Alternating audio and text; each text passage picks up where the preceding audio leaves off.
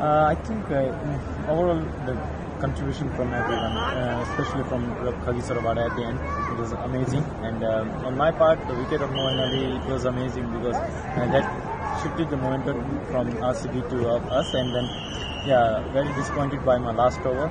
But uh, still, I need to take positive out of that. And uh, yeah, very happy for the win. It's never easy bowling to the likes of Kohli, De Villiers, so you shouldn't you, you shouldn't be too disheartened by that last over. And you also got your 50th wicket in the form of Moeen Ali. That's your 50th wicket in T20 cricket. What do you think of your journey so far?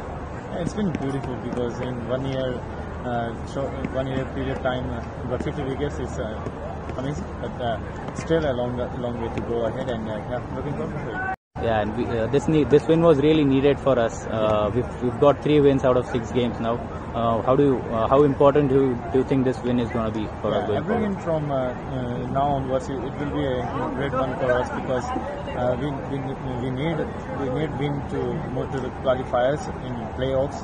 So yeah, every game is uh, like same as same as any other games for us, and yeah, hopefully we're gonna win some few games ahead.